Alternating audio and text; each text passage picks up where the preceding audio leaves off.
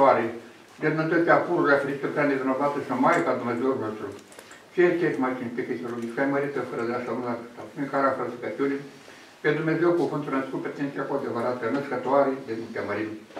Doamne, mai că prea curată, mulțumim de masă, totdeauna în veci veci. Amin.